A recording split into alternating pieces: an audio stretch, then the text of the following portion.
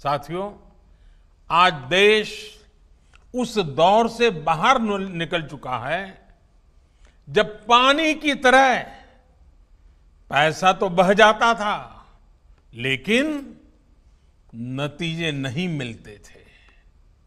आज पैसा न पानी की तरह बहता है, न पानी में बहता है, पर पैसा पाई पाई पानी पर लगाया जाता है। हमारे यहाँ तो हालत ये थी कि पानी जैसा महत्वपूर्ण विषय अनेकों मंत्रालयों और विभागों में बिखरा पड़ा हुआ था, बटा हुआ था। इन मंत्रालयों में, विभागों में न कोई तालमेल था और न ही समान लक्ष्य के लिए काम करने का कोई स्पष्ट दिशा निर्देश। नतीजा ये हुआ कि देश में सिंचाई हो और फिर पीने के पानी से जुड़ी समस्या, ये निरंतर विकराली होते गए। आप सोचिए, आज़ादी के इतने वर्षों बाद भी पंद्रह करोड़ से ज़्यादा घरों में पाइप से पीने का पानी नहीं पहुँचता था। यहाँ उत्तराखंड में भी हज़ारों घरों में यही हाल था।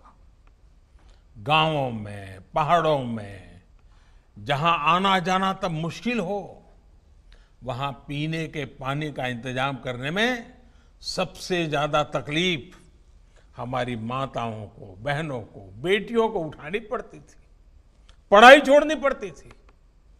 इन समस्याओं को दूर करने के लिए देश की पानी से जुड़ी सारी चुनौतियों पर एक साथ ऊर्जा लगाने के लिए ही जल शक्ति मंत्रालय का गठन किया गया। मुझे खुशी है कि बहुत ही कम समय में जल शक्ति मंत्रालय ने तेज़ी से काम संभालना शुरू कर दिया। पानी से जुड़ी चुनौतियों के साथ साथ अब ये मंत्रालय देश के गाँवों में हर घर तक जल पहुँचाने के मिशन में जुटा हुआ है। आज जल जीवन मिशन के तहत हर दिन करीब करीब एक लाख परिवारों को शुद्ध पेयजल की सुविधा से जोड़ा जा रहा है। सिर्फ़ एक साल में ही देश के दो करोड़ से ज़्यादा परिवारों तक पीने का पानी पहुँचाया जा चुका है। यहाँ उत्तराखंड में तो त्रिवेंद्र जी और उनकी टीम ने एक कदम आगे बढ़ते हुए सिर्फ़ एक रुपये में पानी का कनेक्शन देने का बिड़ा उठाया है। मुझे खुशी है कि उत्तराखंड सरकार ने साल 2022 तक ही राज्य के हर घर तक जल पहुँचाने का लक्ष्य रखा है। कोरोना के इस कालखंड में भी, उत्तराखंड में बीते चार पाँच महीने में पचास हज़ार से अधिक परिवारों को पानी के कनेक्शन दिए जा चुके हैं।